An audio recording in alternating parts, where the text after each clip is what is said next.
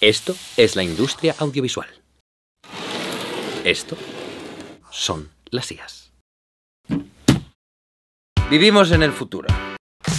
Yo no sé si eso es bueno o malo, yo solo sé que vivimos en el futuro. Las inteligencias artificiales que transforman un vídeo en cualquier estilo ya están aquí, no iban a tardar. Empiezan a ser alucinantes y en poco estaremos viendo resultados tan consistentes como los de las IAs de imágenes estáticas, que ya sabéis que son espectaculares. Pero a mí en el vídeo de hoy me gustaría hablar de IAs en general, para intentar transmitir la magnitud de la revolución que estamos a punto de vivir. Para ello me gustaría hablar de conceptos que me apasionan y que son fundamentales, como la pareidolia, cómo ven las IAs, la diferencia entre procesos creativos y procesos destructivos, y también de los inverse problems y los forward problems y de cosas así. Cosas que ahora a lo mejor dices, no sé de qué me hablas, pero al final del vídeo dirás, vivimos en el futuro pero lo dirás o muy alegre o muy preocupado, eso ya depende de ti. Además, para ejemplificar todo esto hemos hecho un experimento, que ha sido bastante accidental, porque nosotros queríamos hablar de otra tecnología, los Breath Controller. Es un aparato que permite a un pianista imitar la boquilla de un saxofón, una trompeta, un clarinete, cualquier instrumento de viento, y tocar MIDI muy realista. Y para hablar de ese aparato habíamos hecho una cover de Flowers de Miley Cyrus al estilo Big Band Jazz. Habíamos grabado el videoclip con nuestras cámaras normales, y de pronto, en el último instante, antes de que lo publicara, como Gandalf al amanecer del quinto día, vemos surgir dos IAs de muy tochas. Y decimos, ¿qué pasaría si pasamos este videoclip por la IA? Y el resultado ha sido espectacular.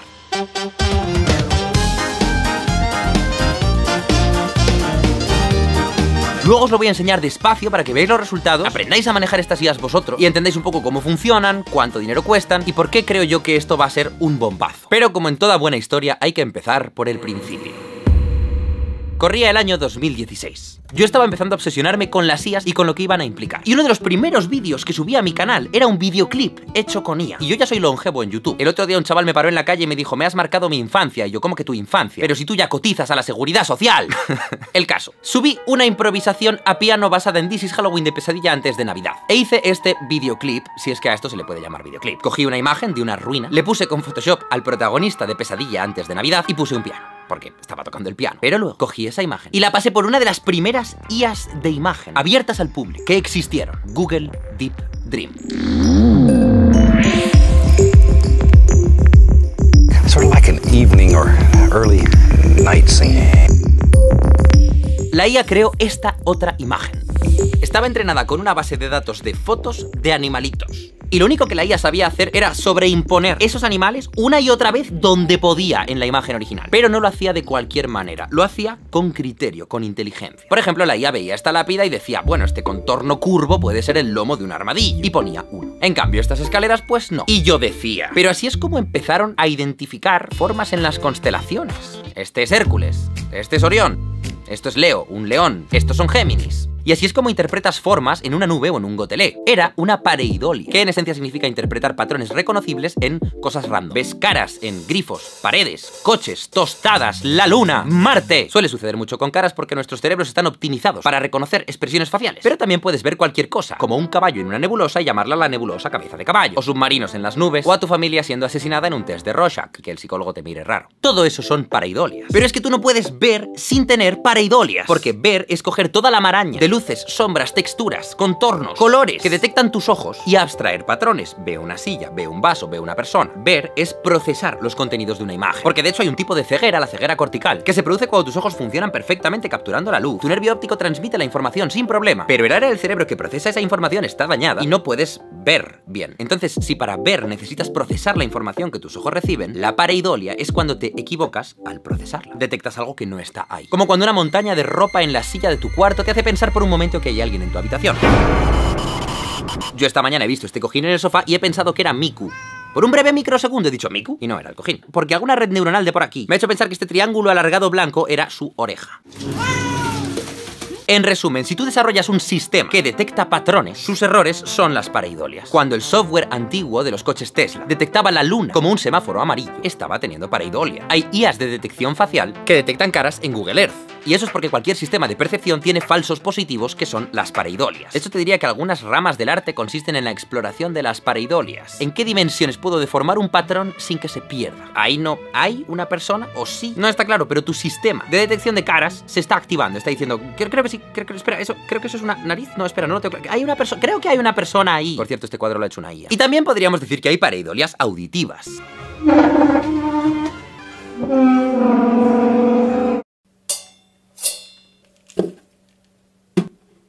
Entonces, lo que estaba ocurriendo en ese momento, en 2016, es que Deep Dream de Google estaba teniendo pareidolias y yo estaba alucinando. Una máquina estaba teniendo pareidolias y luego era capaz de sobreimponer su pareidolia sobre la imagen original para que tú la veas, para enseñártela. ¿Y por qué es tan loco todo esto? Pues veamos un experimento que se publicó dos años antes, en 2014. Cogieron a un grupo de niños y un grupo de chimpancés y les dieron siluetas de un chimpancé al que le faltaba o un ojo, o los dos, o la nariz, o lo que sea. Y les dieron un rotulador y les dejaron dibujar libremente. Si lo piensas, la capacidad de mirar esto y decir, anda, un chimpancé, es la misma que te permitía antes mirar esto y decir, anda, un caballo. Ni aquí hay un chimpancé ni aquí hay un caballo. Pero tus sistemas de detección se están activando. En el experimento estudiaban qué pasa cuando los niños y los chimpancés se ponían a dibujar. No les pedían que dibujaran nada en concreto, les dejaban dibujar libremente. De todos los niños que había ahí, los más pequeños hacían lo mismo que los chimpancés. Repasaban el contorno, garabateaban la cara, estaban interactuando con el dibujo, pero como si el dibujo fuera algo abstracto, sin entender lo que estaban viendo. Pero a partir de los dos años de edad, los niños empezaban a mirar el dibujo y completar. Añadían las cosas que faltaban. Y llega un punto del desarrollo en el que la mayoría de niños, sin que nadie se lo pida, tienen la compulsión de terminar el dibujo, de poner el ojo que falta, o la nariz, porque están teniendo una pareidolia en su cabeza, viendo ahí claramente un chimpancé y diciendo, quiero terminarlo, quiero que me aumente la pareidolia con este dibujo. Y para ello tengo que hacerlo más real. Ningún chimpancé decidió hacer eso, o tuvo la capacidad de hacer eso. Eso no quiere decir que no reconocieran ahí un chimpancé, no se sabe. Lo único que quiere decir es que no completaron el dibujo. La suma de la capacidad y las ganas de completar el dibujo era lo que separaba a los niños de los chimpancés. Y era lo mismo que estaba haciendo Deep Dream de Google, cuando sobreimponía los patrones de armadillos sobre la imagen. Lo que pasa es que esa IA en toda su vida solo había visto animales, no se había entrenado con nada más, así que solo podía tener paraidolias con animales. Pero ¿qué iba a significar eso? Cuando unos pocos años después entrenasen estas IAs con imágenes de todo tipo, ruinas, edificios, ciudades, bosques, cascadas, personas, animales, pepinillos, y en todos los estilos artísticos posibles, de todos los tipos de imágenes del mundo. La IA sería capaz de reconocer en esta imagen cualquier cosa que tú le pidas, no solo armadillos, y dártela modificada. Lo que hacen los niños con el dibujo, lo que les diferencia de los chimpancés, pero hecho por una máquina. Y eso ya ha ocurrido. Ya estamos aquí.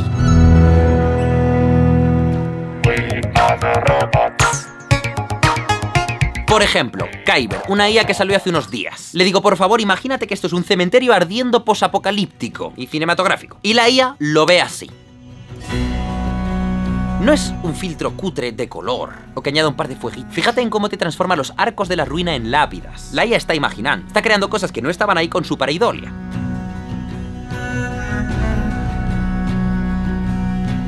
como le hemos pedido un cementerio en Jack, prota de Pesadilla antes de Navidad, ha visto una cruz. Está teniendo las mismas alucinaciones visuales que tienes tú cuando te quedas mirando a las nubes. Si le pedimos primavera y está lloviendo, te hace esto Te pone flores en el árbol este creepy del cementerio porque es primavera y el suelo está mojado por la lluvia, tiene brillo de agua y hasta algunos charcos. Y hasta te convierte la luna en un paraguas. Respeta los contornos, y Jack se convierte en el palo del paraguas. Y si igual que a Deep Dream en 2016 le pedimos que vea armadillos, los ve. Los ve con lógica. Los pone en el suelo, porque un armadillo no suele estar flotando en el cielo, y coge contornos con forma de armadillo y dice, aquí veo yo el armadillo. Pero es que además convierte el fondo en un hábitat para armadillos, con sus plantas. Lo único que se le pidió fue un cementerio en el que hubiera armadillos estilo cinematográfico. Fue la IA la que conectó en su cabeza que hay un armadillo debería estar pues en lo salvaje. Y dices, vale, ok, pero todavía veo que está manteniendo las ruinas, está haciendo el cementerio. Pero en realidad podría haber cualquier cosa en cualquier imagen. Por ejemplo, puedo coger un bote de laca Nelly, unas bobinas de filamento de impresora 3D, un cartón y objetivos de cámara, y decirle a la IA, oye tú, IA, ten una pareidolia, quiero que esto sea una ciudad. Y la IA nos hace esto. Los filamentos pasan a ser un edificio circular, les añade ventanas, le añade una puerta cuadrada con la forma de este cuadrado, que en realidad es un cuenco dado a la vuelta de salsa de soja para el sushi, y te hace coches donde le hemos puesto la grabadora blanca. Y el resto son carreteras, más o menos consistente con el suelo, que es la mesa, y el cartón lo convierte en una ciudad de fondo. Las rayas del cartón las convierte en límites para las nubes. Y este logo de una V y una C lo convierte en un logo futurista neón. Y como esto le podemos pedir una ciudad submarina con iluminación dramática. O una ciudad tipo Blade Runner.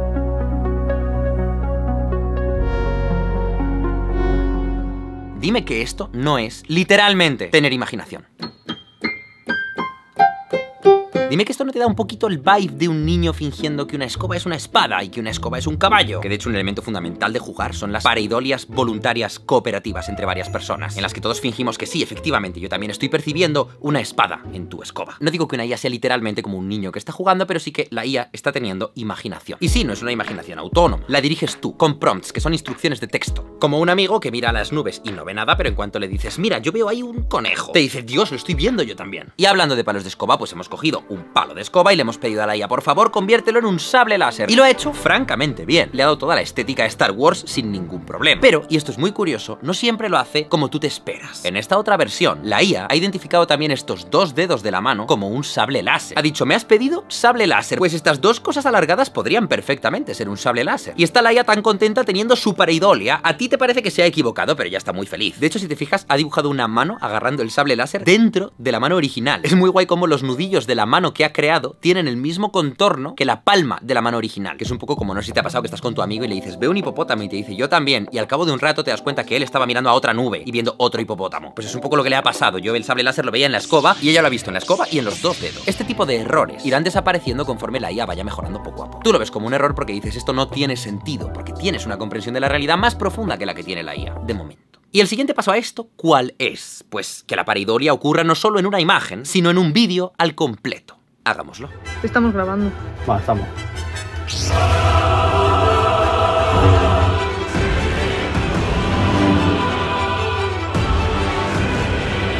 Esta animación ha costado 14 céntimos. A 50 Cent le habría dado para hacer 3. 14 céntimos. Y hemos tardado 10 minutos. Y me dirás, pero aquí hay errores de continuidad, frame a frame. No es consistente. Y te diré, sí, pero esto lo ha hecho una IA que es una V1, que salió hace un mes. Que esto acaba de empezar. De hecho, puedes usar otros programas para mejorar la consistencia. Esta es la maqueta de antes, pero en un vídeo, con movimiento de cámara y siendo un poquito más consistente. Imagina toda esta tecnología lo que puede significar para hacer storyboards, para el concept art, o para hacer bocetos de animaciones y hacerlas realidad al instante. ¡Mira qué locura! Si cojo este boceto de animales corriendo, puedo hacer que se conviertan en animales de verdad. Bueno, más realistas. O te hago toda esta animación 3D a partir de una orca dibujada a boli en un folio. O cogemos estos bocetos de Moana, o Bayana, o como la llames donde vivas, y de pronto los coloreamos.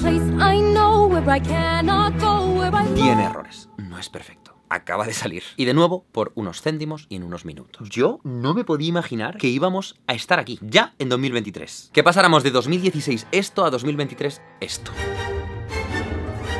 ¿Dónde va a estar esto en otros 7 años? ¿Y qué va a significar para los efectos especiales, para la animación, para los videoclips? Si eres un grupo indie que está en su garaje y tiene cero presupuesto. Y para los youtubers. Y para todo el sector audiovisual. Yo me imagino perfectamente un equipo de unas pocas personas pudiendo hacer una película de animación que compita con Disney. Porque con las IAs van a poder, con muy pocos medios, tener un acabado mucho más profesional y de pronto les vas a juzgar por la calidad de la historia que están contando. En vez de, por los gráficos, porque ya todo va a tener gráficos profesionales. Y eso significa que se van a poder contar historias más arriesgadas, porque no sé si te has dado cuenta, pero Disney no para de contar las mismas historias una y otra vez.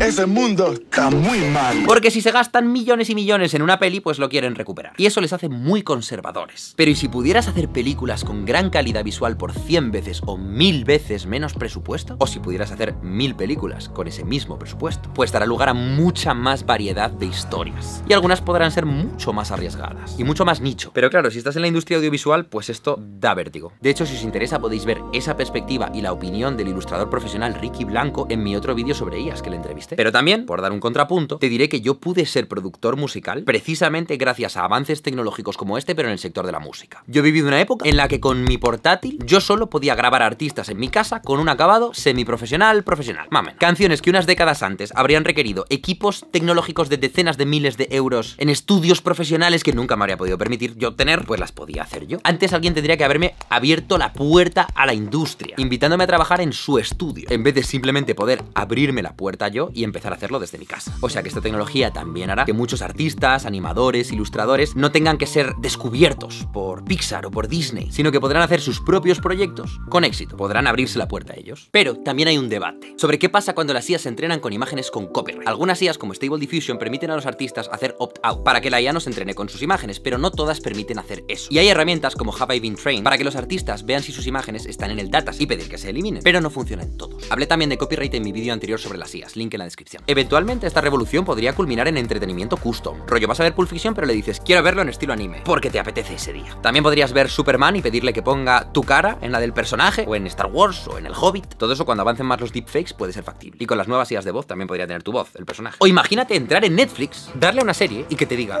¿quién quieres que sea el protagonista? Y te aparezca un selector con varios actores del banco de actores de Netflix. Y puedes elegir, como en el selector de personaje de un videojuego. No es nada descabellado porque el deepfake ha mejorado mucho. Esto es Jim Carrey en El Resplandor, en vez de Jack Nicholson.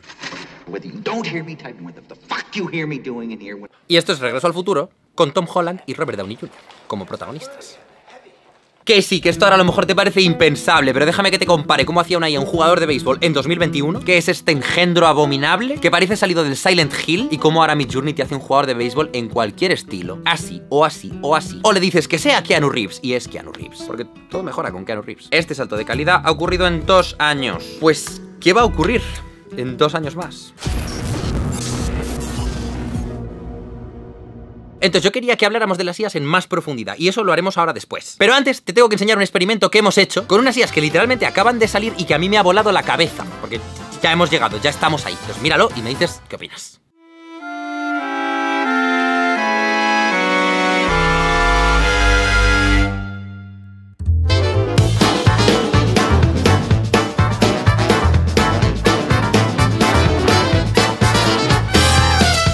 Teníamos el videoclip de nuestra cover de Flowers de Miley Cyrus listo para publicar y de pronto salen Gen 1 de Runway y Kyber. Y dijimos, bueno, pues a ver qué tal estas IAS. Y no tenía yo mucha esperanza en que las IAS estuvieran ya a este nivel, pero están ya a este nivel. Son capaces de hacer lo que quieras.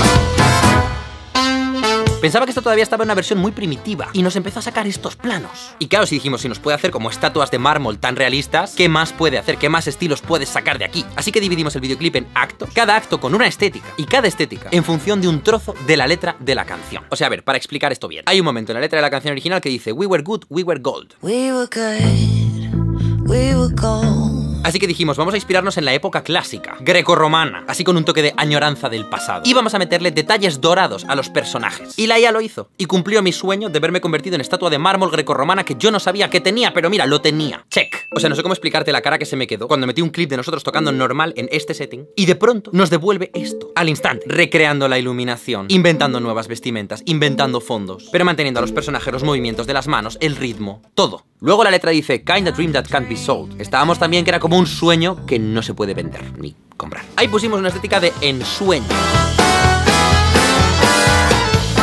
Como aquí Miley todavía sigue hablando de una parte de la relación así como muy bonita, idílica, idealizada, pues le metimos todo un toque celestial y divino. La luz del sol, las nubes, los colores de sueño. Después las cosas se empiezan a torcer en la relación. Y la letra dice, Built a home and watched it burn. Construimos un hogar y lo vimos arder.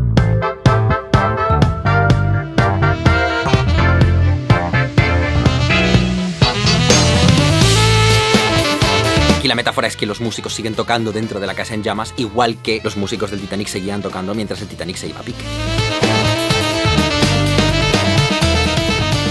En la letra luego Miley hace un plot twist y después de lamentarse por su relación que se ha ido a la mierda, empieza a decir, espera, puedo sacarme yo sola a bailar. I can take myself dancing.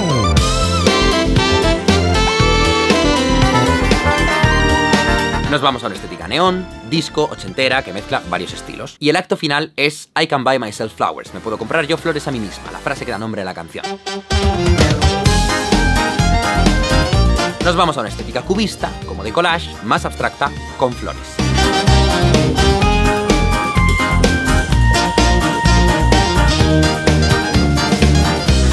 No sé, yo me quedé sin palabras. Estaba ya el videoclip ya grabado para lanzarse y de pronto la IA te puede hacer esta maravilla en un momento. Pues claro, aquí te replanteas no ya este videoclip, sino todos los demás que vayas a hacer. Y te replanteas un montón de proyectos para los que antes a lo mejor no tenías medios y ahora de pronto dices, espera, ¿con esto qué puedo hacer? Nuestra manera de trabajar en esto ha sido ir plano a plano, subiéndolo a las distintas IAs. Tú le pides en texto lo que quieres, estatua de mármol, no sé qué, y te da cuatro previews y eliges la que más te gusta y te genera el vídeo. Hay toda una parte humana en todo esto, obviamente. Aunque la IA haga todo lo que es las imágenes. Esa es la parte de IA. Luego la parte humana nuestra es elegir qué clip va dónde, cómo lo cortamos y qué clips de la IA nos gustan más. Cada clip del vídeo lo hemos pasado por la IA aproximadamente 35 veces y hemos elegido la que más nos gustaba de esas 35. O sea que para este videoclip de unos 3 minutos y medio hemos hecho como 2 horas de metraje. Y luego ha habido un trabajo de máscaras, retoques, corrección de color, modos de fusión, para conseguir que el resultado de la IA quedara aún mejor y aún más consistente. O sea que no es que le metas el videoclip y te lo devuelva ya hecho. Ha sido un trabajo de aproximadamente una semana a tope entre 5 personas, dos de ellas ilustradores profesionales que están aprendiendo a usar estas tecnologías. Para que os hagáis una idea, el coste de IAS, el coste total en lo que es servidores y el servicio, ha sido de unos 750 euros. Eso es lo que cuesta generar dos horas de metraje. Hay otra parte humana que es el prompt engineer, que es como llaman en el mundo de las IAS a aprender qué pedirle a la IA para que te haga caso. Hemos ido conociendo a estas IAs. Por ejemplo, Gen 1 de Runway es más inteligente. Entiende mejor dónde está la persona, dónde está el fondo. Si ve una mano, entiende rápidamente que eso es una mano. Y lo que pasa es que altera mucho las facciones de la cara. Pasas de ser tú a ser otra persona. En cambio, Kyber es menos inteligente en ese sentido, tiene más artefactos, o sea, errores, pero mantiene mucho más las facciones. Te reconoces a ti mismo en las imágenes que saca de ti. Por ejemplo, Gen 1 da igual si le pasas un plano rojo, verde o azul. Va a coger la persona, el fondo, el instrumento y lo va a llevar a la estética que tú quieras sin importarle nada. En cambio, Kyber, si quieres un mármol azul, le tienes que pasar el plano con un filtro de color azul. Te respeta mucho más lo que le das, porque cada IA tiene su carácter. Luego además ambas tienen parámetros que puedes cambiar para que respeten más o menos tu contenido, etc. Pero en así cada una se nota que tiene un criterio artístico diferente y tienes que aprender a comunicarte con ellas de manera distinta. Hay una cosa muy curiosa que es que a lo largo del vídeo las IAs van teniendo paridolias que no son correctas para nuestro criterio. Hay un momento en el que una mano tocando la convierte en una especie de piano de cola con forma de mano. O confunde las arrugas de una camiseta con collares, porque las arrugas tienen forma de arco. E incluso a veces pone caras de estatuas de mármol en brazos y en sitios que podrían tener forma de cara pero que no son caras. Para ti, para mí no son caras, para ella sí. Y algunas las hemos dejado, porque forma parte de la estética IA, ahora que son todavía primitivas. Pero había otras pareidolias, que eran ya demasiado extremas. O sea, había veces que a los dedos de una mano les ponía a su vez manos. Eso es muy creepy. Es posible que esta estética, en 30 años, nos produzca la misma nostalgia que a los millennials nos da un VHS en 4.3 con efectos low-fi. Los defectos de lo antiguo son la nostalgia del futuro. Te dejo los links al videoclip completo y a las IAs que hemos utilizado en la descripción. A mí una de las cosas que me ha impactado es que el videoclip no lo teníamos pensado para hacerlo con IA, lo teníamos pensado para sacarlo normal y de pronto ha surgido la IA y ha sido como que la herramienta ha terminado de aterrizar el proyecto. Si ahora fuera un grupo de música que está empezando y está haciendo sus primeros videoclips, seguramente especialmente si fuera de música instrumental o así como más indie, pues, o sea, yo es que haría esto de cabeza. Tampoco hace falta que hagas dos horas de metraje, que claro, han valido 700 euros. Si vas a tiro hecho y no haces esto de probar cinco estéticas distintas y hacer todos los planos 35 veces, tres minutos de vídeo te salen como a 18 euros. O sea que por 60 euros te puedes hacer un videoclip en el que tengas tres tries de la IA y eliges en cada sitio el que ha quedado mejor. Porque una de las cosas más locas es que luego hemos probado a grabar planos sucio con el móvil y la IA les ha dado una estética bonita. Siento que es una oportunidad para un montón de grupos de música de elevar mucho su contenido y que grupos noveles que están empezando tengan más oportunidad de que les escuchen. Total, dicho todo esto, ahora que ya has visto el caso concreto, me gustaría que nos pusiéramos serios, que habláramos un poco más de las matemáticas del asunto, de qué significa realmente la revolución de las inteligencias artificiales. Así que empecemos el tercer tercio del vídeo. Aunque ahora editando lo veo que dura dos tercios del vídeo, vete a por un café si quieres. Te espero. So long and thanks for all the fish. Hay gente que cuando ve una IA a la que tú le puedes pedir quiero un caballo en barco al estilo cubista, dice, oh, esta IA hace imágenes. Y sí, pero no. Esta IA puede generar espacios de imágenes. Eso es lo que es muy loco. Un poco como en Interstellar, cuando va volando por las librerías esas. Tú imagínate la imagen de la chica en Lofi. Y dices, con una IA le puedo poner otros cascos, y otros, y otra lámpara, y otra, y otra mascota, y otra, y otra plantita, y otra. Vale, pues imagínate, esto es un pequeño esoterismo. ¿Cómo vería esto la IA? Imagínate ver a la vez a esta chica llevando todos los cascos. Esta planta siendo todas las plantas. Y la imagen teniendo todos los estilos. Estilo fotográfico, estilo cubista, estilo posimpresionista, estilo realista, estilo barroco. Imagínate este espacio 3D y cada esfera es una imagen distinta de la chica del Luffy. Imagínate que pudieras navegar por este espacio con unas gafas de realidad virtual o como en un videojuego y estuviera la chica del Luffy y luego la chica del Luffy barroco. Y no hubiera solo dos imágenes, habría un continuo también de la chica del Luffy transformándose poco a poco en chica del Luffy barroca. Esa sería la dimensión barroca. Le sumas barroco a la chica del Luffy de manera continua. Y habría un montón de dimensiones más. El espacio no tendría tres dimensiones, tendría miles, pero nosotros lo vamos a concebir como que tiene tres porque somos humanos. Otra en la que se va convirtiendo en el chico del synthwave, que es una variación de la chica del del Lofi, la versión oficial que ha salido ahora en el canal de la chica del Lofi, podrías navegar por el espacio de imágenes de chica del Lofi en cualquier dirección y cada dirección que saliera de ahí sería modificarla en una dimensión conceptual. La podrías modificar hacia robot,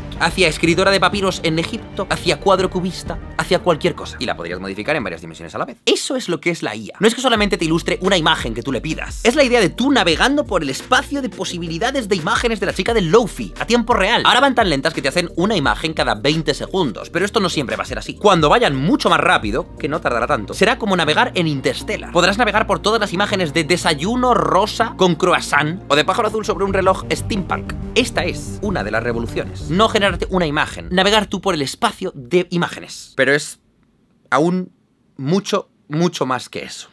Binary Solo. 00001 Nuestra IA puede hacer un montón de chicas del Lofi. Y eso forma el espacio de imágenes de la chica del Lofi que tiene nuestra IA. Es como una nube conceptual difusa porque no está claro dónde termina. En la frontera hay imágenes que se alejan tanto que empiezas a dudar de que sea la chica del Lofi. Empieza a ser cuestionable tu pareidolia. La IA hace otras imágenes como jugadores de béisbol, que está dentro de su subespacio de imágenes de jugadores de béisbol. Y habrá overlap. Habrá imágenes que pertenezcan a ambos subespacios. Porque sea jugador de béisbol y chica del Lofi a la vez, porque te produzcan ambas pareidolias. Y habrá millones de subespacios conceptuales más que la IA pueda producir. Pingüinos, magos, borroso, contrapicado, blanco y negro, ojo de pez, dibujo, dibujo impresionista. Y la suma de todas las imágenes de todos sus espacios forma el espacio total de imágenes que esa IA es capaz de producir, que es finito. No todas las IAs pueden producir todas las imágenes, no son dioses, tienen sus fortalezas y sus debilidades. Cada una tiene su propio espacio de imágenes que es capaz de producir. El caso es que todos esos espacios estarán dentro de un gran espacio, el más importante, el más grande, el espacio de todas las imágenes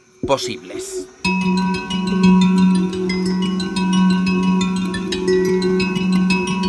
哇。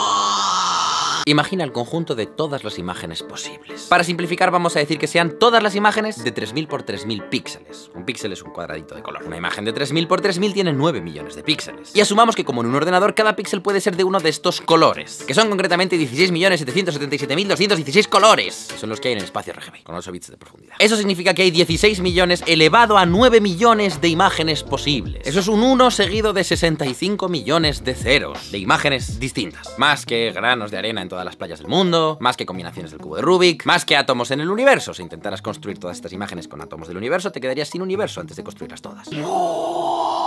Pero es un espacio que, aunque es abstracto, se puede definir y de manera muy concreta y lo puedes visualizar. Es un espacio de imágenes en el que tenemos todos los frames del Señor de los Anillos. Y de Never Gonna Give You Up. Y Never Gonna Give You Up con Zoom. Y Never Gonna Give You Up en Attack on Titan. Y están todas las fotos de mi infancia. Y de tu infancia. Y de la infancia de Shrek. Están todas las fotos que se han hecho en la historia. Rescaladas a 3000 por 3000. Pero vale cualquier ratio de aspecto. Es cuestión de poner bandas negras. Están todas las fotos que nunca se hicieron. Pero estuvieron a punto de hacerse. Pero justo se les acabó el carrete. O se quedaron sin espacio en el móvil. O sin almas de caracol cuántico. Como sea que almacenen las cosas en el futuro. Están todas las fotos de las personas que aún no han nacido. Y las fotos del día de tu muerte. Y está Daenerys haciéndose un selfie con su dragón. O Gandalf. O Harry Potter después de haber ganado un partido de Quidditch. Está todo, cada uno de los frames de este vídeo. Y dices, wow, sería increíble navegar por el espacio de todas las imágenes posible. Y yo te digo, no, no sería increíble, es muy creíble, es muy fácil y lo que es es una mierda. Yo ahora mismo puedo coger un generador aleatorio que cada vez que le doy a este botón me genera una nueva imagen donde cada píxel es aleatorio. La mayor parte de las imágenes van a ser ruido, o al menos a mí me van a parecer ruido. A lo mejor una lleva codificado un poema de Pablo Neruda en los valores RGB. Y si los pasas a binario y luego a ASCII te sale el poema. Pero vamos, que visualmente sería ruido. Y de pronto, tras haberle dado miles, millones de veces, a lo mejor genero un frame de Rubius jugando a Minecraft. Y digo, ole. Y luego seguiría siglos y siglos dándole al botón, dándole al botón. Y el 99,9999% de las imágenes que haría serían ruido, ruido de colores, sin patrón, sin sentido, como un televisor antiguo que muestra ruido blanco. Y de pronto, oh, habrá un momento en el que a lo mejor está Frodo jugando a Minecraft. O Minecraft jugando a Frodo. Y luego ruido, ruido, ruido, ruido. Y dentro de 100 millones de años una imagen que es casi todo ruido, pero en una esquina se asoma Stanley Kubrick. ¿What?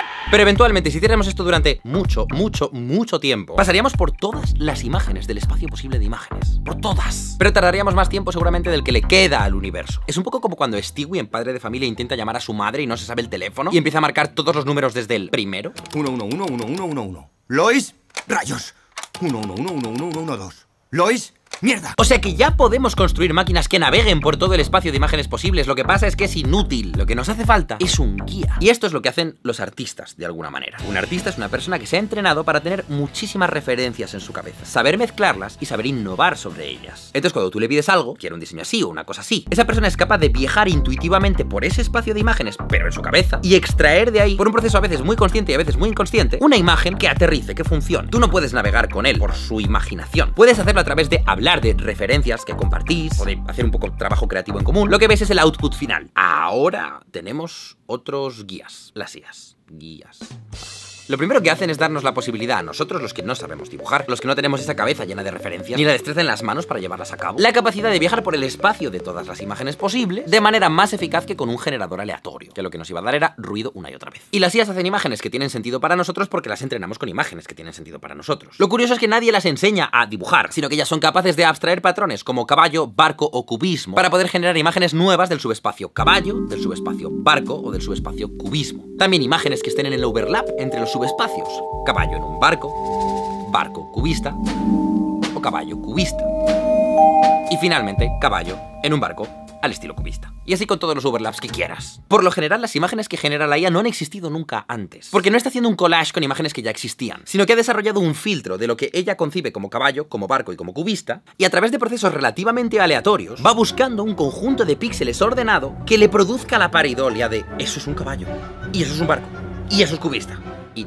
Esta tecnología nos permite crear cosas que podíamos concebir, pero no podíamos crear. Yo puedo concebirme como una estatua de mármol que toca el piano, entiendo lo que busco, pero no puedo generarlo. Está el espacio de imágenes de Jaime tocando el piano y el espacio de imágenes de estatuas de mármol. Y necesito aquellas imágenes que están en el overlap.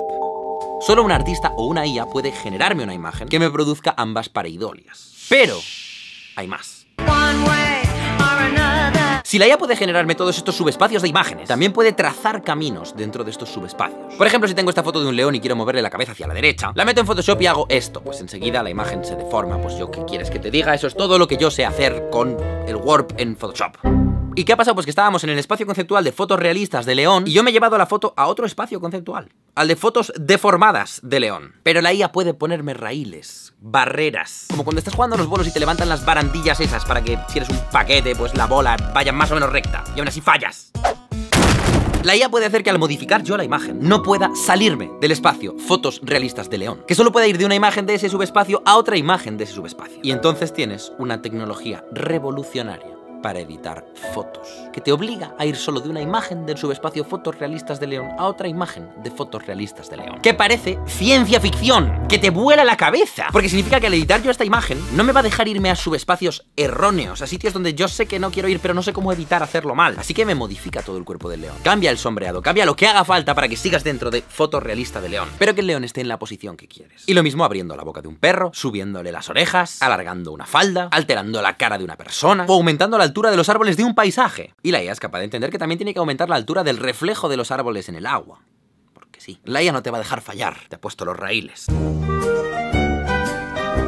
Esto es lo loco de los espacios de imágenes de las IAs, no son solo generadoras de imágenes. Al generar espacios pueden generar caminos dentro de los espacios. Y esto no es más que el comienzo, piensa en las transiciones. Vamos a especular un poco. En los softwares de edición de vídeo tengo una sección de transiciones. Yo quiero pasar de una imagen a otra o de un vídeo a otro y puedo hacer un crossfade. Una va perdiendo opacidad mientras otra gana opacidad. Puedo hacer un bloom, que es que todos los píxeles suben al blanco, entonces como que te quedas como ciego, y de pronto todos los píxeles bajan, pero bajan a la nueva imagen. O puedo hacer una transición tipo las que hacía Josh Lucas en Star Wars. Este engendro geométrico. Lo bueno es que cada vez probaba una distinta oye, pues tiene gracia.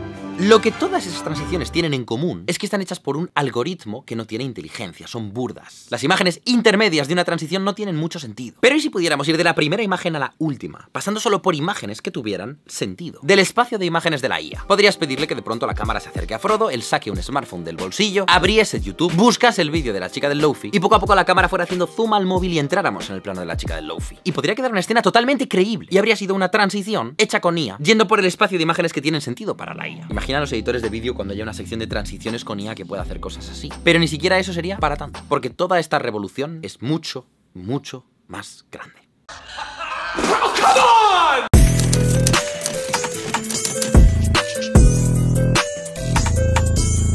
Hay procesos que son destructivos y que luego es complicado revertir. No me ha resultado complicado destruir esta tarta, pasar esta tarta de aquí a aquí, pero me sería complicado devolverle la forma original. Vamos a hablar de procesos destructivos. Te pongo aquí el espacio de todas las imágenes posibles. Imaginemos que hacen distintos tipos de filtro. Por ejemplo, puedo aplicar un filtro que sea rotar una imagen 180 grados. Pues te lleva esta imagen de Frodo a Frodo rotado 180 grados. Y si ahora vuelves a aplicar el filtro, te lleva el Frodo rotado al Frodo original. Aunque así está muy claro, vamos a representar esto como se suele representar en matemáticas, que es que ponemos el espacio posible de todas las imágenes dos veces. Ambos son una réplica del mismo conjunto, del mismo espacio. Y el filtro es una especie de función de máquina que nos modifica una imagen. El Frodo normal pasa al Frodo rotado, el Frodo rotado pasa al Frodo normal. Heidi normal nos pasa a Heidi rotada, Heidi rotada nos pasa a Heidi normal. Y lo mismo pasa con Shrek y con Miley Cyrus y con Pikachu. No te olvides de que en ambos espacios están todas las imágenes y todas las imágenes rotadas y todas las imágenes de cualquier manera porque ambos espacios son el espacio de todas las imágenes. El tema es que toda imagen al rotarla 180 grados, sabes de qué imagen viene. Solo tienes que desrotarla 180 grados, sabes cómo volver a la imagen original. No has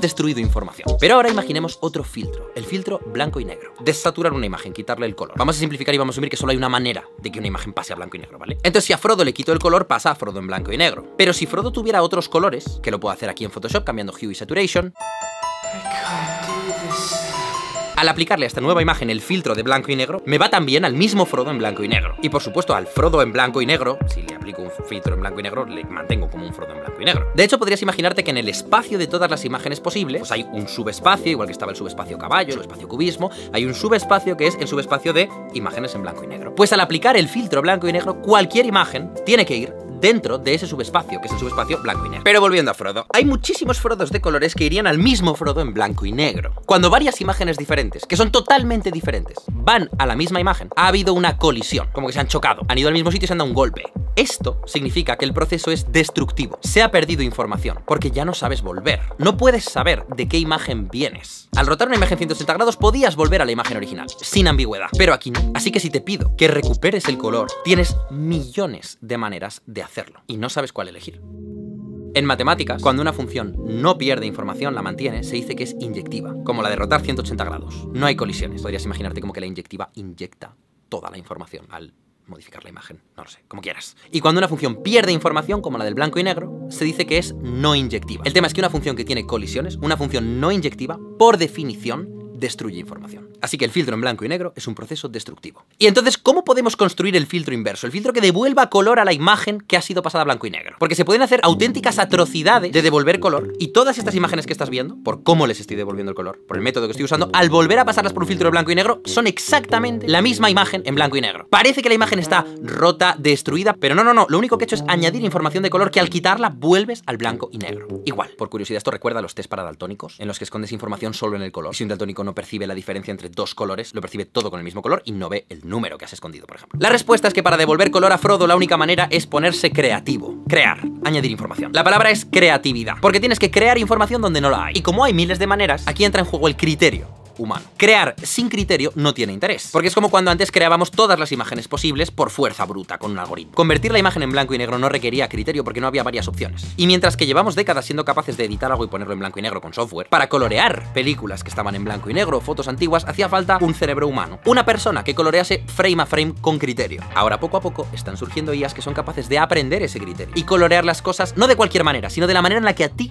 te parecen realistas. Esto ya existe, pero podría eventualmente haber IAs que recoloricen con prompts muy específicos, en plan, esto es ropa del siglo XIX, tenlo en cuenta. Y quiero que la luz del sol esté como a 3000 Kelvin de temperatura. O sea que las IAs son capaces de hacer trabajos creativos donde hace falta un criterio y son capaces de aprender tu criterio. Lo loco es que en ningún momento les has explicado tú cuál es tu criterio, solo le has dado una lista de ejemplos muy larga de imágenes que cumplen tu criterio y ella ha aprendido por su cuenta. Si quieres entender más en profundidad cómo se entrena una IA, te dejo el vídeo de 3 Blue One Brown, que es muy bueno, o todo el canal de 12SV. O sea que tenemos una especie de máquina copia criterios que parece de ciencia ficción, que es capaz de aprender a pintar como tú, a conducir como tú, a colorear como tú o a escribir como tú, como ChatGPT. O a hablar como tú. Le puedes poner tu voz, porque ahora ya puedes hacer que Paul McCartney cante versiones alternativas de Yesterday. Yesterday was two days before tomorrow. Ya estamos ahí, ya está. Se asume, Seguimos. Y hay muchos más procesos creativos. Las IAs pueden aumentar la resolución de una imagen. Al hacer la foto, tu cámara no tenía la calidad para capturar los detalles del cuadro. Al pasarlo por la IA, la IA reconstruye los detalles del trazo. Está inventando píxeles que no estaban ahí, pero lo está haciendo con un criterio realista que te funciona. O pueden poner en 4K y a 60 FPS vídeos grabados a comienzos del siglo XX. Y hay muchos más, igual que un blur es un proceso destructivo, hacer unblur, deshacerlo, es un proceso creativo que una IA puede hacer. O cuando coges un objeto 3D y lo proyectas en 2D, a través de sacarle una foto, estás perdiendo información sobre su forma. IA puede reconstruir el 3D de una manera que sea razonable, que tenga sentido. Porque hay mil maneras de hacer un modelo 3D de una imagen 2D. Puedes simplemente extruirla hacia arriba, eso ya es 3D. Pero seguramente no era así el objeto original. La IA deduce cómo es el resto. Y no son solo procesos creativos con imágenes. Cuando en tu software de mezcla tienes pistas de voz, batería, bajo, piano y guitarra, y lo exportas, las juntas todas y lo exportas en un solo MP3, has destruido un montón de información. Y la IA ahora puede separar esa canción por pistas, y para eso tiene que inventar información que no estaba ahí, que se perdió. Todo esto es una locura, son todo procesos creativos que requieren un criterio, y la IA aprende tu criterio. Es como una peli de ciencia ficción, es una maquinita que ve cómo haces tú las cosas y es capaz de abstraer cómo las estás haciendo y hacerlas ella. Es inteligente, Esta diferencia conceptual de que las IAs pueden hacer procesos creativos, es decir, que pueden hacer abstracciones a partir de un dataset, es útil para entender por qué estas IAs están revolucionando tanto el mundo del arte, donde están pudiendo complementar algunos tipos de creatividad humana, no toda la creatividad humana, porque las IAs adoptan criterios que ya han sido creados por los humanos. Son copia criterios, no expande criterios, que sería la figura de un artista en una vanguardia. Pero todo esto ni siquiera es lo más importante. La revolución de las IAs es mucho, mucho más que eso.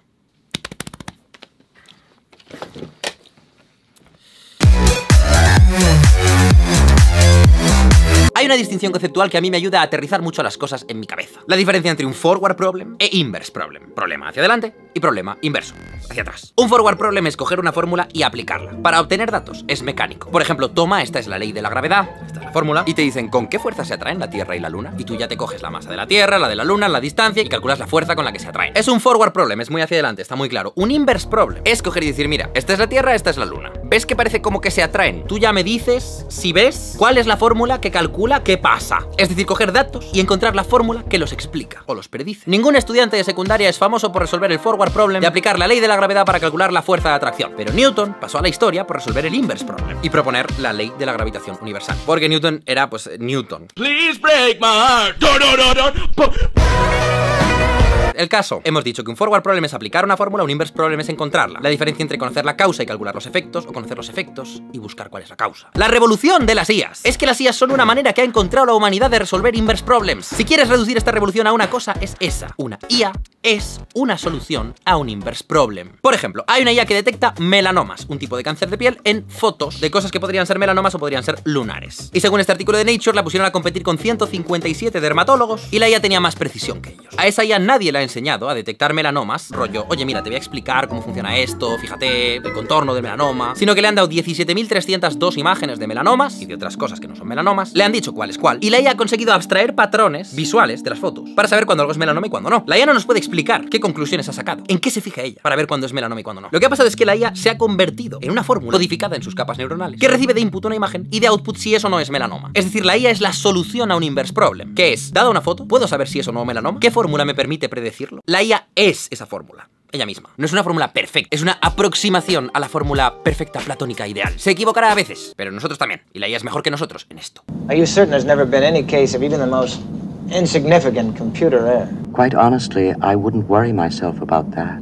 Pero no nos lo puede explicar porque si no podría formar a dermatólogos y decirles, mira, fíjate siempre en el contorno, en este pequeño cambio de color que hay entre la capa más super... No, no puede. Cada vez que tú aplicas la IA estás resolviendo un forward problem. Estás cogiendo una imagen y sabiendo si eso no melanoma. La IA es la solución, o una aproximación a la solución perfecta ideal, al inverse problem de qué fórmula nos permitiría predecirlo. Otro ejemplo es AlphaFold, una IA con la que podemos calcular cómo se doblan las proteínas. Una proteína es una cadena de aminoácidos que empieza siendo así larga, como sin estructura, y de pronto un aminoácido de aquí se une con otro de allá, y se empieza a formar una estructura tridimensional, que es lo que da forma y función a la proteína. Y dada una cadena de aminoácidos, hay un número inimaginable de configuraciones que podrían adquirir. Pero solo hay una, que es la correcta, la que permite a la proteína ejercer su función. Si quieres saber más de esto, busca paradoja de Levinzat. El caso es que se ha entrenado a una IA para encontrar patrones. Le dan una abstracción de la cadena de aminoácidos, con un poco de información de qué aminoácidos aparecen en distintas mutaciones, un jaleo, y la IA es capaz de deducir qué aminoácidos quedarían más cerca unos de otros cuando la proteína se doblase, adquiriese su configuración. Por cierto, hay un vídeo espectacular sobre cómo funciona AlphaFold de 12CV y la hiperactina. Link en la descripción. La IA no sabe que es una proteína, ni que estamos hablando de aminoácidos, ni nada, la IA simplemente ha encontrado patrones en las proteínas que ya sabíamos cómo se doblan y ha empezado a aplicar esos patrones a proteínas que no sabemos cómo se doblan y ha sido una revolución. Y esto es un inverse problem en toda regla. La formulación sería dada una cadena de aminoácidos, con algún dato adicional, dime cómo de cerca se van a quedar esos aminoácidos cuando la cadena se pliegue. Y la fórmula que hemos encontrado de cómo funciona eso es la IA. La IA es esa fórmula. La IA es el resultado al inverse problem. Y es muy loco que partiendo de proteínas que sí sabemos cómo se doblan, la IA nos ayuda a descubrir cómo se doblan proteínas de las que no conocíamos su estructura. Y no podemos hablar con ella y preguntarle, oye, ¿por qué este aminoácido se va a quedar cerca de este? No sé, ¿tú qué opinas? ¿Me puedes explicar un poco? Pero la IA no puede explicarte por qué hace lo que hace. La IA sabe la respuesta correcta. Y sin embargo, ahora vamos a ver cómo puedes manipular las neuronas de las capas ocultas de la IA para tener una intuición de qué ha abstraído la IA, de cómo piensa. Y a veces dices, oh, piensa igual que yo, lo cual me da un poco de miedo. Y a veces dices, pero ¿qué co Could machines ever think as human beings do? The interesting question is just because something uh, thinks differently from you, does that mean it's not thinking? Es muy mind-blowing cómo aprenden las IAs. Si has usado ChatGPT, sabes que ha aprendido a programar, a traducir, a rimar, a hacer metáforas, a extender acordes, a resumir y a hacer un montón de cosas para las que nadie la ha entrenado específicamente. Nadie le ha dado clases a ChatGPT. Nate Gentil tiene un vídeo muy bueno sobre cómo funciona ChatGPT, por si quieres entrar más en profundidad. Pero en esencia, le han dado millones y millones de textos y la han entrenado a completar textos, de acuerdo al criterio humano. Y ella ha aprendido parte del criterio humano que había detrás de esos textos. Y para eso ha tenido que desarrollar la capacidad de hacer todas estas cosas. Pero nosotros ahora vamos a ver una IA mucho más sencilla que ChatGPT. Una IA que trabaja con imágenes de muy baja calidad. Porque es una IA que no es muy potente. Pero precisamente eso nos va a permitir explorar mejor cómo funciona la IA por dentro.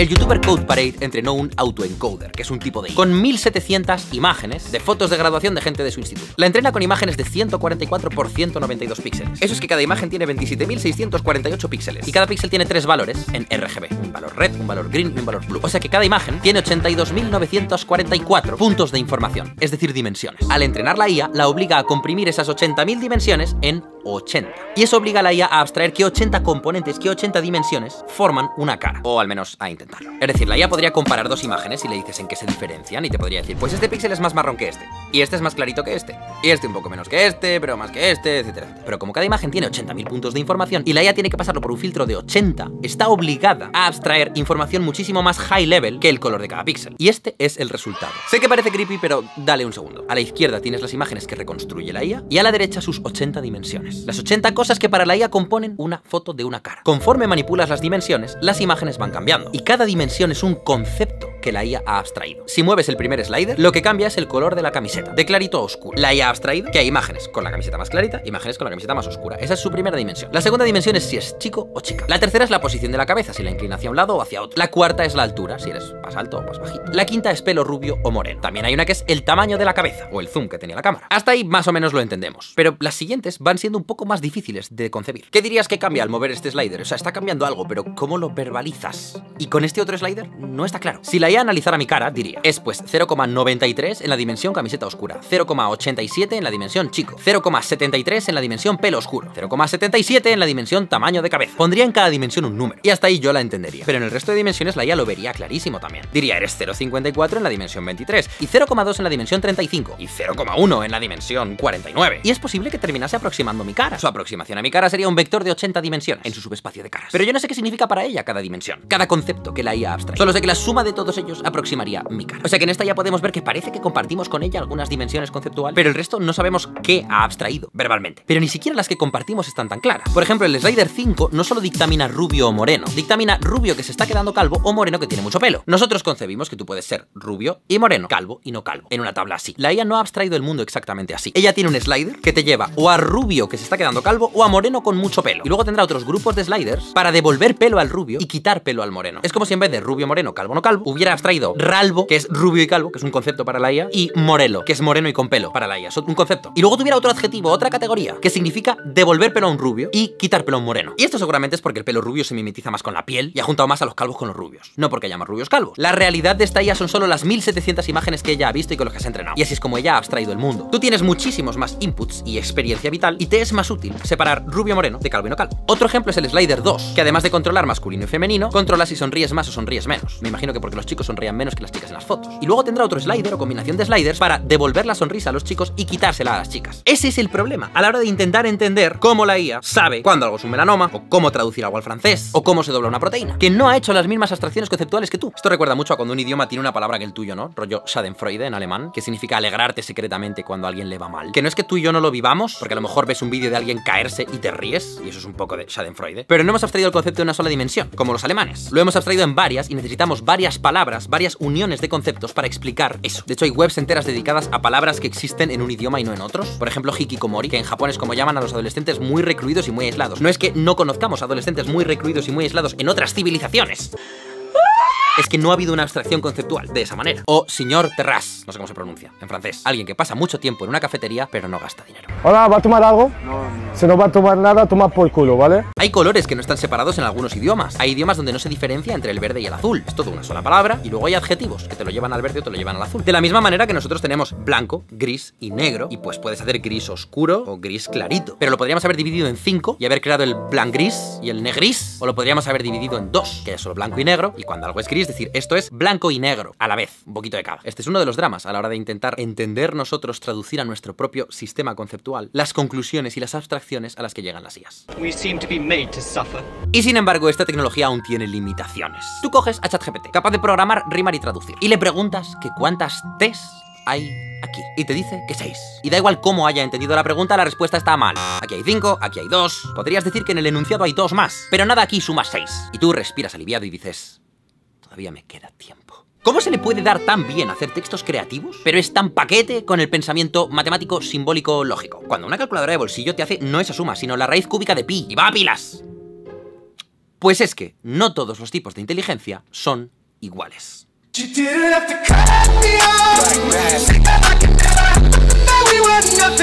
Soy un robot igual que tú. Adelante, pregúntame algo que solo sabría un robot. ¿Raíz cuadrada de nueve? Vale, verás, no soy esa clase de robot, soy más bien de esta clase.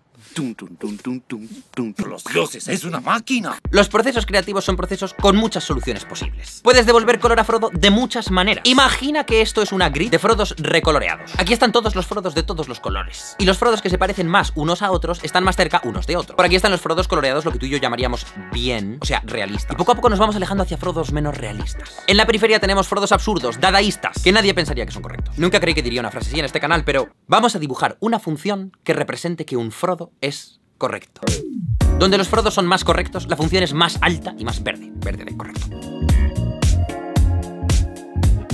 Las separo para que lo veas bien. Fíjate que los Frodos de la zona verde son buenísimos, Frodos de calidad. Y en las zonas rojas del extrarradio de Frodos, los Frodos son horribles. Incorrecto. Y en la zona intermedia, entre el verde y el rojo, los Frodos son un poco correctos. Sí, veo por dónde vas, casi. Vale, pues las inteligencias artificiales que tenemos ahora son capaces de abstraer perfectamente patrones que se puedan representar así, como un gradiente continuo, de correcto a incorrecto. Pero es que no todos los patrones se pueden representar así. Me temo que tendremos que recurrir a las matemáticas.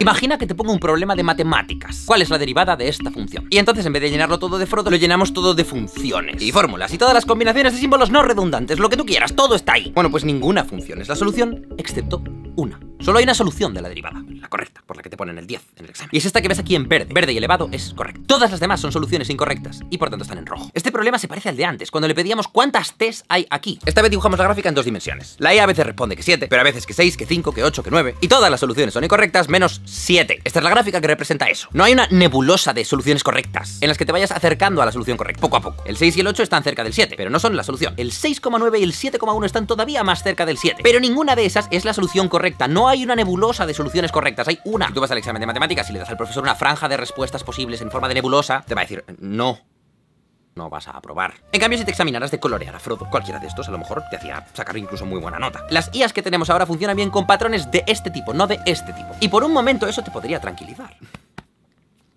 Vale, pues si no van a poder razonar como yo, pues eh, ya está. Humanidad 1, IAS 0, con 6. Pero ahora mismo algunos de los mejores ingenieros del mundo están trabajando arduamente en conseguir que la IA adquiera inteligencia simbólica. No está claro cómo hacerlo. Puede ser que estos modelos entrenados con más potencia, más datos, más neuronas, más capas, terminen siendo capaces de desarrollar inteligencia simbólica. O haciendo algún hack. Por ejemplo, en Google han desarrollado Minerva, que es un Large Language Model, un tipo de IA como ChatGPT, que ya consigue resolver problemas simbólicos, matemáticos, de nivel de instituto. Ya puede hacerte un examen de primero de bachillerato. Pero la manera es un poco pillada por los pelos. Por ejemplo, si se encuentra el problema de las T's, lo resuelve 20 veces. A veces se equivoca y te dice que hay 6 T's, a veces te dice que hay 8, a veces te dice que hay 4, a veces te dice que hay 9, pero muchas veces acierta y te dice que hay 7. Entonces luego hace una distribución estadística de soluciones y elige la más frecuente. Y tiende a acertar. O sea, está razonando de manera nebulosa como con los frodos y te va dando un montón de soluciones cercanas a la solución correcta. Y oye, pues la que está más o menos justo en el centro tiende a ser la correcta. Otro ejemplo, investigadores de Meta, de Facebook, que tienen un modelo que es capaz de resolver integrales y ecuaciones diferenciales de primer y segundo orden. Y lo hace mejor que matemática, MATLAB y Maper. Encuentra soluciones que otros softwares programados de la manera tradicional no encuentran, pero a veces se inventa soluciones. Soluciones que casi son, pero no son. Y eso los softwares tradicionales pues no lo hacen. A lo mejor no encuentran tantas soluciones, pero lo que te dicen pues te lo puedes creer. La IA esta es como que iría a la revisión del examen diciendo, pero si es que, pero si es casi, casi, si no ves que es casi, no me das medio punto. En matemáticas no hay medio punto. O está o no está.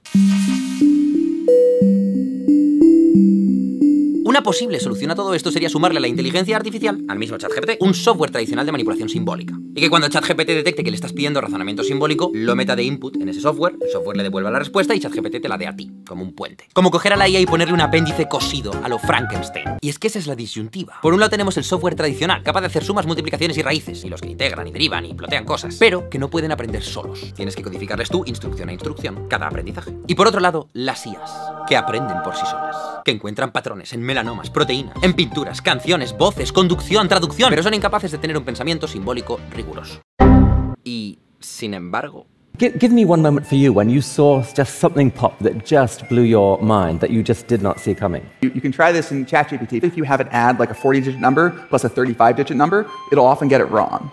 But if you add 40 digit numbers, the model will do it. You can't memorize the 40 digit addition table. That's more atoms than there are in the universe, which means it's really learned a internal circuit for how to do it. He hecho varias pruebas y efectivamente, ChatGPT suma bien números de 40 dígitos, casi siempre. Pero si le pides un número de 40 y otro de 37, se equivoca todo el rato. No sabemos por qué, pero ChatGPT ha abstraído un algoritmo de suma para números de 40 dígitos. Y es perfectamente concebible que GPT-5, su siguiente iteración, con más capas, más neuronas, más datos, aprenda a sumar números de cualquier longitud o termine abstrayendo cualquier rama de las matemáticas. Este es un ejemplo de la gente que defiende que el pensamiento simbólico llegará como consecuencia de dar más potencia a las arquitecturas que ya tenemos. Pero da igual de qué bando estés. Lo importante es que tenemos algunos de los mejores ingenieros del mundo intentando crear el santo grial. La unión. Una máquina capaz de aprender sola y de ejecutar pensamiento difuso, como las que ya hay, pero también simbólico, preciso lógico. Una máquina para dominarlas a todas. Si esto pasara, imagínate lo que podría significar. Por ejemplo, en matemáticas el inverse problem de cómo derivar una función está mucho más resuelto que el de cómo integrar una función. Imagínate que eventualmente exista esta IA, este santo grial, que le dieras las integrales de las que la humanidad conoce la solución y empezara a descubrir patrones. Primero cosas como el algoritmo de Risch de integración, sin que nadie se lo explicara, que lo dedujera ella. Y luego poco a poco nuevos métodos de integración que todavía desconocemos. Y si esta ya fuera una caja negra como las IAs de ahora, nos diría, mira, esta integral de la que desconocíais la solución, esta es la solución. Pero no te puede explicar por qué. And there's no point in coming in here and show me, show me, look. So what? Me too. Tú comprobarías que efectivamente es la solución, pero la IA habría abstraído un conocimiento que no te puede transmitir. Un conocimiento que está ahí, en los datos. Es intrínseco a cómo funciona el cálculo y las integrales. Está ahí, pero nosotros todavía no hemos llegado y ella sí. Y eso ya empezarían a ser conocimientos que no serían tan inofensivos. Would you like me to engage enhanced combat mode? Uh, yeah. Activating instant kill. No, no, no, no, no. Te permitirían desarrollar nuevas tecnologías, nuevos sistemas de comunicación y nuevas armas y de todo. Y sobre todo, lo más esperado, lo más ciencia ficción. Lo que iniciaría una revolución aún más loca. Que es que la IA fuera capaz de diseñar arquitecturas de IA y datasets mejores que los que hemos hecho los humanos para entrenar a IAs más potentes. IAs que nosotros no somos capaces de crear. La IA que edita su propio código. Un GPT-6 que haga el código de GPT-7. Que sea muy listo GPT-7 y eso le permite hacer el código de GPT-8. Que sea aún más listo GPT-8 y haga el código de GPT-9. Y entres en un loop de feedback positivo que termine en alguna novela de Isaac Asimov. Aquí ya entras más en el terreno filosófico de si crees que nuestra capacidad intelectual de abstraer patrones y razonar y pensar viene puramente de nuestro cerebro, por un proceso de selección natural en el que se ha desarrollado una arquitectura de neuronas sobre un sustrato de carbono y que por tanto sea replicable en silicio, en ordenadores, en máquinas. O si por otro lado piensas que hay algo extra natural, fuera de la naturaleza, un alma, una chispa, algo irreplicable que un ordenador jamás podrá tener. Pero vamos, que no hace falta llegar a este nivel de esoterismo. Lo que sí podemos afirmar es que ahora mismo hay una nueva tecnología capaz de entrenarse y convertirse a sí misma en la solución de algunos inverse problems, de copiar nuestros criterios, está por ahí suelto, que hay un montón de humanos aplicándolas a un montón de dimensiones de nuestra civilización, que está empezando a revolucionarlo todo y a darnos respuestas sin que tampoco entendamos muy bien por qué esa es la respuesta. Hay un autor de ciencia ficción, que es Douglas Adams, que en 1979 escribió la guía del autostopista galáctico. Y ahí predecía un poco el rollo del smartphone, cuando decía que habría una guía para todo autostopista galáctico que pudiera llevar en su bolsillo y en la que consultar toda la información disponible de la humanidad, como ahora cuando tú buscas en Wikipedia o en YouTube cualquier cosa. También la idea de que pudieras hacer traducciones in real time with the voice of the original person, which is something that is already happening. Cuando hablaba del Babelfish. Le poisson qui peut traduire en temps réel tout ce que quelqu'un vous dit. Les SIAS sont déjà un peu engagés dans cette voie. Pero también predijo un poco este tema de la caja negra de las IAS, una especie de aliens superinteligentes que era una inteligencia artificial a la que le preguntan cuál es la respuesta a la vida, al universo y a todo. Y el ordenador se lo piensa durante millones de años, van todos ahí, están todos muy emocionados, por fin van a saber la respuesta a la vida, al universo y a todo. Y el ordenador responde que la solución es 42. La respuesta a la gran pregunta de la vida, del universo y de todo es 42. Claro, se quedan un poco en shock. Y claro, la respuesta del ordenador es, esa es la respuesta, pero es que no estáis entendiendo bien cuál es la pregunta. Yo no os puedo ayudar a formular bien la pregunta. Es un poco como las IAS de ahora, que encuentran respuestas a un montón de cosas. Y tú le dices, pero ¿qué preguntas te has hecho? ¿Qué te has planteado? Para saber que esto es un melanoma, que esta proteína se dobla así, que así es como se colorea Frodo. Y la IA te dice, yo no te puedo decir qué me he preguntado. Puedes intentar navegar por mis redes neuronales e intentar entender por qué sé que la respuesta es 42. Pero yo no te puedo explicar por qué. Yo solo te puedo decir que esa es la respuesta. Porque ahora estamos acostumbrados en la civilización a que, oye, yo no sé fabricar un piano, yo no sé construir esta habitación, yo no sé construir esta silla, yo no sé construir esta cámara, ni el portátil, ni siquiera sé tejer mi propia ropa. Yo sé hacer lo mío vídeos de YouTube, o tocar el piano, o analizar música, o componer, o lo que sea. Y tú sabes hacer lo tuyo, y él sabe hacer lo suyo, ella sabe hacer lo suyo, y cada uno sabe hacer su cosa. Do I bother myself with the reality of what happens when I get into a big steel box, press a button, and rise into the sky? Of course I don't. Cada uno estamos especializados en una pequeña parte de la civilización. Intercambiamos nuestro conocimiento, nuestros productos, nuestros servicios y todos pues intentamos tener lo que queremos, como podemos. Pero tú asumes que al final hay un humano al volante de todo. Hay un humano en algún sitio que sabe hacer este piano, que sabe hacer esta cámara, que sabe hacer el ordenador, los focos, el agua corriente o pasteurizar la leche. Alguien sabe pasteurizar la leche. No sé quién es. A lo mejor estás viendo este vídeo, gracias. El tema es qué va a pasar cuando haya áreas del conocimiento humano, que ya no es el conocimiento humano, áreas del conocimiento donde el último responsable no es un humano, es una IA que sabe la respuesta, pero no te puede explicar cómo ha llegado a ella. Cuando empecemos a crear sistemas y tener soluciones a problemas que nosotros no entendamos. Esa es la verdadera revolución. E irá llegando. Mientras tanto, disfrutemos de estos vídeos tan bonitos, las canciones separadas por pistas, la versión alternativa de Yesterday de una IA de Paul McCartney, y de lo que en general tiene pinta que ahora mismo son juegos de una revolución que va a ser muchísimo más que esto. No hay nada que haya hecho avanzar más a la humanidad que solucionar inverse problems. Hay muchísima gente que ha pasado a la historia por solucionar inverse problems. Y nuestras vidas son las soluciones a inverse problems que otras personas han encontrado. Descubrir cómo hacer una bombilla fue solucionar un inverse problem. Fabricar una bombilla tras otra es ejecutar el forward problem una y otra vez. Poner agua corriente en las casas es un inverse problem. Las centrales nucleares son inverse problems. La píldora anticonceptiva es un inverse problem. La pistola es un inverse problem. La bomba atómica es un inverse problem. Descifrar la máquina Enigma fue un inverse problem. La relatividad es una solución a un inverse problem. Los avances tecnológicos son soluciones a inverse problems. Y ahora tenemos una máquina que soluciona inverse problems. Entonces, claro, si te paras a decir, ¿qué significa esto? Solo hay una respuesta posible. 42.